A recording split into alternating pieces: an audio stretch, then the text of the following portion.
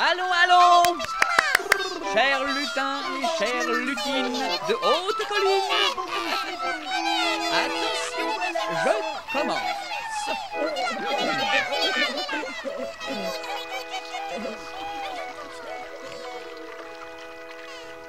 Dans notre cours d'eau appelé la Vifile coulent des mots. Où se cachent des histoires? Connaissez-vous celle de Jojo le crapaud Le héros du royaume des nénuphars Précisons avant tout que Jojo le n'était pas n'importe quel. Jojo était le prince de tous les comme tous les de son rang. Jojo était amoureux d'une princesse, une jolie princesse. Grenouille. C'était un malheur pour un si grand cœur de d'être charmé par le doux coassement de la jeune et irrésistible batracienne. Pauvre Jojo. Sa laideur naturelle ne favorisait pas cette tentative de séduction. La famille de la belle princesse lui fit rapidement comprendre que son physique ingrat ferait ombrage à la beauté et à la douceur de leur fille. Le roi grenouille Koa Ier ne se priva point pour lui asséner le coup de grâce.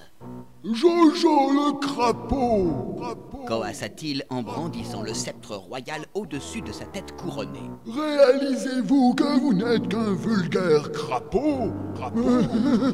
Mais regardez-vous dans un miroir. Observez votre visage avant que la glace ne se brise En réalité, je vous le dis, prince crapaud, vous n'êtes pas beau Partez loin de notre cour, emportez votre laideur et laissez ma fille en paix. Des princes plus charmants veilleront sur son bonheur. Bonheur. Jojo le crapaud tourna le dos à sa majesté Koa Ier et sortit du palais, dépité. Perdu dans ses tristes pensées, il ne remarqua pas la princesse grenouille qui lui faisait signe de revenir la chercher. L'âme en peine, Jojo longea le cours d'eau et regagna sa grotte. Soupira-t-il. Ici, au moins, je pourrais dormir toute l'éternité. Or, cette nuit-là, un vent effroyable, venu de l'Est, captura toute vie entre ses griffes de glace et emprisonna le ruisseau, si vite qu'un canard surpris n'eut pas le temps de s'envoler. Ses deux pattes furent prises par le gel et restèrent bloquées. Les grenouilles du royaume des nénuphars, encore plongées dans leur sommeil, n'eurent pas le temps de s'enfuir. Elles eurent beau frapper, l'épaisse couche de glace qui les recouvrait ne céda pas à leurs petits coups de poing. Désespérées, elles s'époumonaient.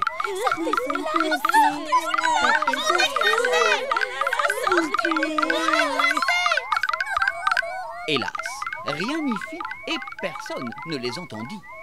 Au petit matin, lorsque Jojo le transi de froid se réveilla, il se cogna la tête contre une étrange pierre transparente et pointue, suspendue au plafond de la grotte. Oui, Cria-t-il avant de coasser. Qu'est-ce que c'est? Partout, l'eau gelée formait de ces drôles de cônes. Oh, je n'ai jamais vu de trésor pareil. C'étaient des stalactites de glace. L'eau gelée qui tombait goutte à goutte formait ces drôles de cônes juste au-dessus du nez de Jojo le... qui en détacha une, la rangea délicatement dans sa poche, puis sortit. À peine eut-il posé le pied sur la glace qu'il glissa et tomba de tout son poids. Aïe Se plaignit-il avant de coasser à nouveau. Oh, mais que se passe-t-il? Du bout de ses longs doigts verts, il constata l'ampleur des dégâts causés par le gel. Oh, princesse grenouille Répondez-moi Attendez, oh, je vais vous tirer de là. Jojo comprit soudain le rôle qu'il devait jouer. Il fallait qu'il libère sa belle prisonnière de l'hiver. Tout à coup, il entendit des cris.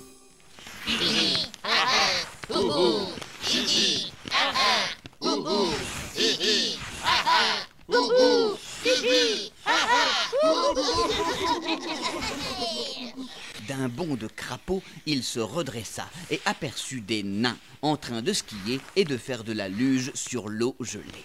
Tous hurlaient à tue-tête.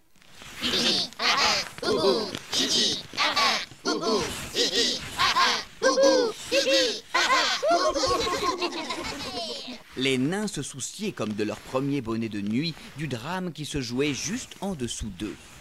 Jojo se jeta en travers de leur passage et les interpella.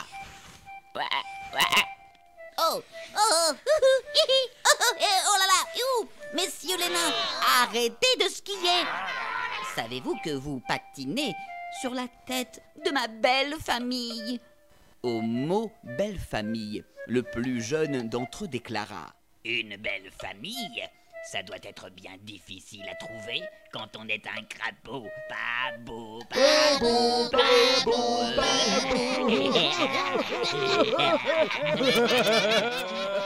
Les nains s'esclaffèrent, mais Jojo, habitué à ce genre de remarques, ne se laissa point abattre. Oui, bon, je sais, je ne suis qu'un crapaud, pas beau. Mais il n'empêche que vous marchez sur la maison de la princesse Grenouille.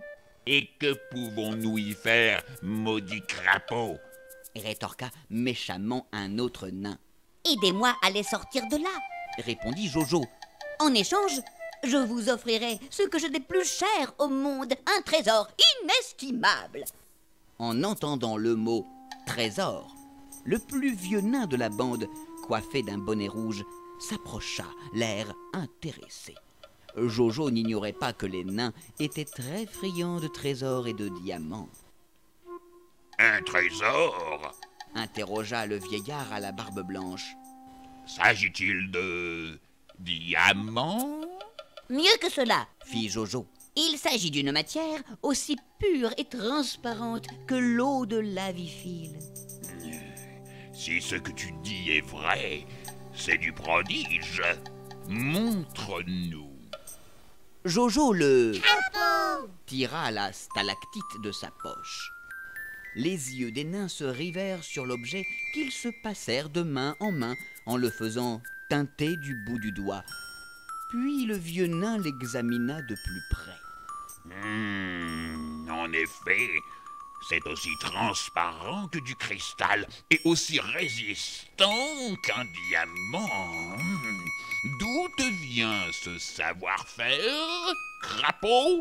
Ah, c'est un secret qui se transmet de crapaud en père. Crapaud Je n'en dirai mot. Mais si vous m'aidez à casser la glace, si vous m'aidez à délivrer la princesse grenouille, alors, monsieur le nain, vous en aurez autant que vous voudrez. Alors, êtes-vous prêt à m'aider? Hmm, Oui, fit le vieillard.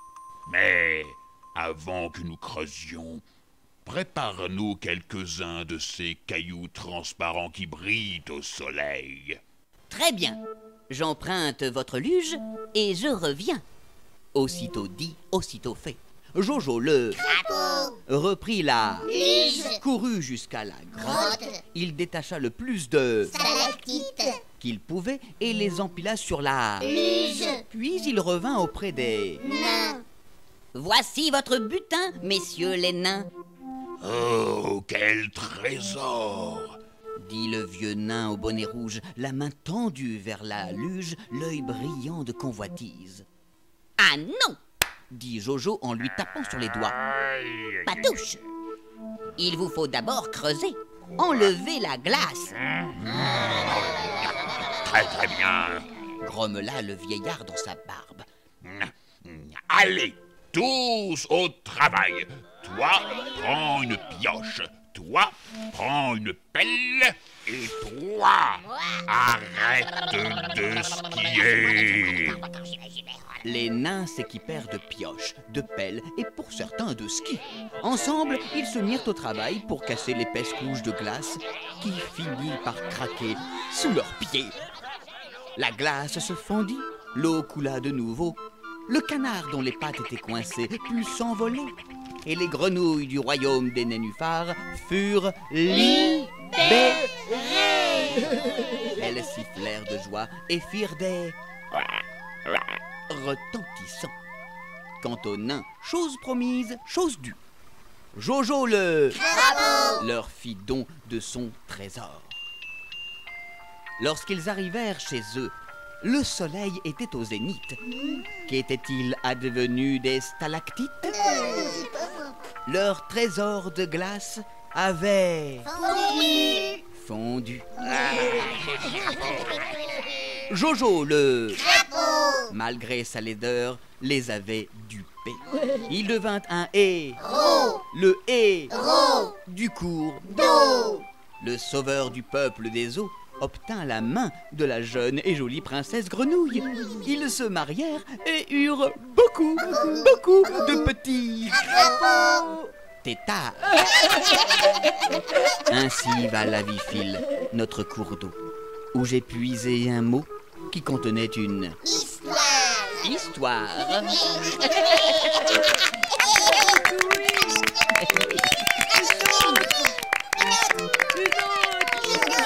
Average.